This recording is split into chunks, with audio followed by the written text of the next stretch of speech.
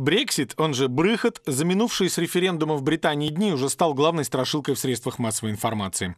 Среди сценариев, которые рассматриваются, есть и совсем черный. Он предполагает, что в ближайшее время начнется цепная реакция. Страны одна за другой начнут проводить референдумы, подобные британскому, и Евросоюз превратится из желанной цели в душные застенки, из которых все стремятся вырваться.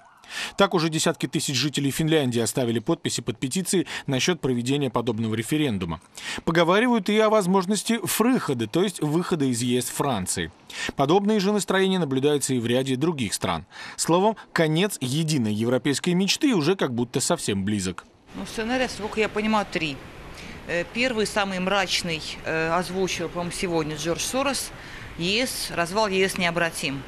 Но, насколько я помню, Сорос предрекал развал России года два назад, тоже необратимый.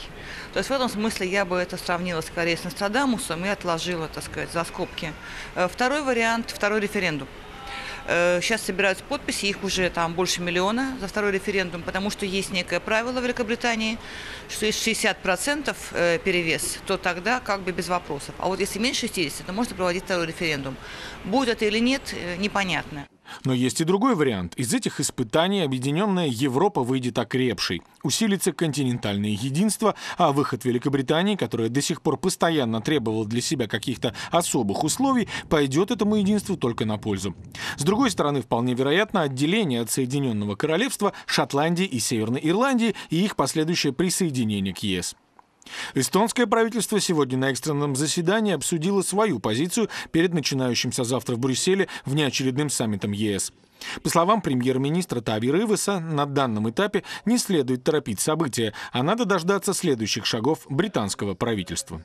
Конечно, для многих в Европе и в самой Британии такой итог голосования стал шоком.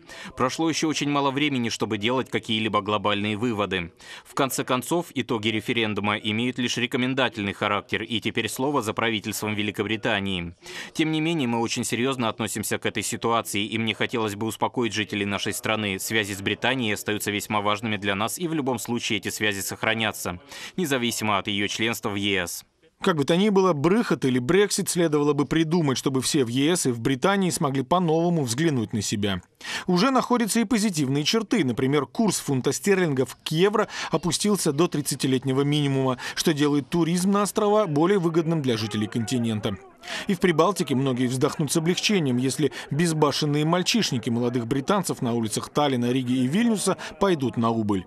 Но в любом случае понятно одно – антиэмигрантские настроения во всех странах Единой Европы будут лишь усиливаться. И на этом фоне нам здесь в Эстонии, видимо, остается только держаться. Голос нашей страны вряд ли будет иметь какое-то решающее значение в данной ситуации. Дмитрий Кукушкин, Сергей Попридуха, Первый Балтийский канал.